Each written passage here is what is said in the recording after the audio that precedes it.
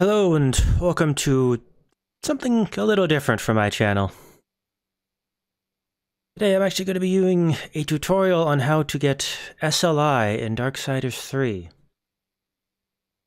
Because it doesn't, it doesn't have SLI, unlike Darksiders 1 and 2, which I was very disappointed in.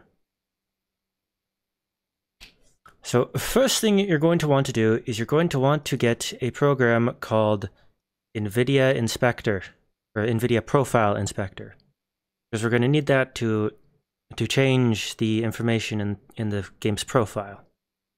I'll have a link for that down in the description.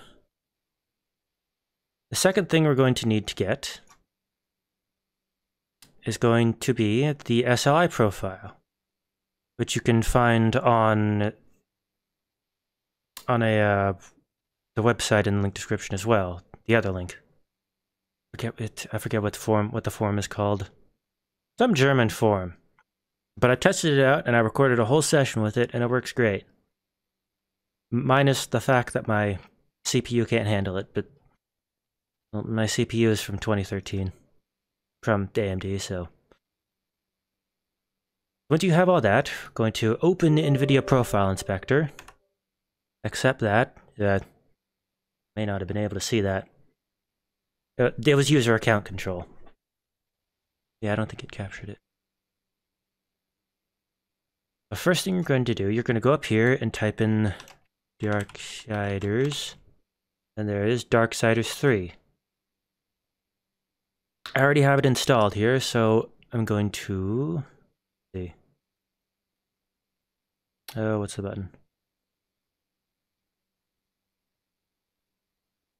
Yes, restore it to defaults. I can show you what to do.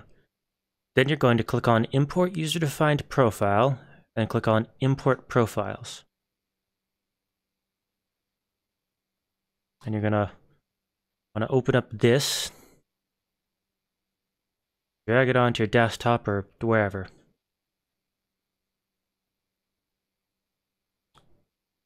Then you open it, and it will import it in. Now, for now, uh, for me, since my CPU can't handle handle it, I'm actually going to add a frame limiter because I also need to record at the same time with my GPU. I'll use limiter v2. Then you click Apply Changes. Now, there's actually two SLI profiles uh, on this where I got this from. Uh, one is an updated version for for NVLink cards, which you will need if you have two 2000 series cards in SLI. You, you know, if you have that kind of money to spunk for some reason. and that's all there is to it.